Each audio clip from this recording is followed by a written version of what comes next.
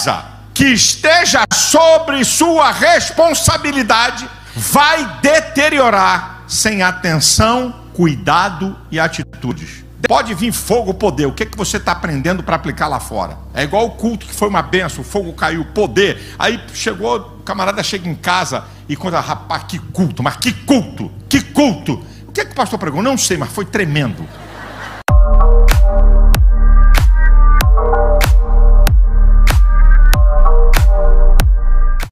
Escuta essa aqui. Qualquer coisa que esteja sobre seu cuidado, pode anotar o que estou te falando, sobre sua responsabilidade melhor, vai deteriorar sem atenção, cuidado e atitude. Vou repetir. Qualquer coisa que esteja sobre sua responsabilidade vai deteriorar sem atenção, cuidado e atitudes. Deixa para lá. Casamento, família, ah, deixa para lá, não tem problema não. Relacionamentos, trabalho, vida espiritual, aquilo que tiver sobre seu cuidado e que você não dá atenção, que você não está observando com cuidado e que você não toma atitudes, vai se deteriorar. Casou, não tô nem aí para mulher, não tô nem aí para o marido, vai, vai deteriorar essa relação. Tá os filhos aí jogados, vai ter problema. Trabalho de qualquer jeito.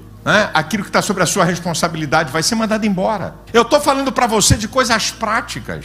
Eu não estou falando para você de teologia profunda e que você não aplica nada para a sua vida. Isso aqui você pode aplicar que funciona. Eu sou muito preocupado para pregar para o povo, não para o culto, mas para depois do culto. O que, que adianta eu pregar aqui e você voar, subir pela parede, rodopiar, hum? Falar língua estranha do início ao fim, mas quando você dá aquela porta para fora, nada serviu para você. É igual aquela história que eu não tenho nada, eu sou pentecostal, não tenho nada contra fogo, contra poder. Pode vir fogo, poder. O que, que você está aprendendo para aplicar lá fora? É igual o culto que foi uma benção, o fogo caiu, poder. Aí chegou, o camarada chega em casa e conta, rapaz, que culto, mas que culto, que culto. O que, que o pastor pregou? Não sei, mas foi tremendo.